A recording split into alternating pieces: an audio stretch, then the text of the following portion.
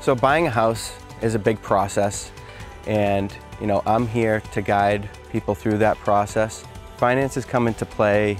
I always recommend lenders that are familiar with New Hampshire housing because they have the programs, the assistance and education um, that is able to get them to their house. I used New Hampshire housing 10 years ago when I bought my first house and had a great experience and I always pass that information on to my clients.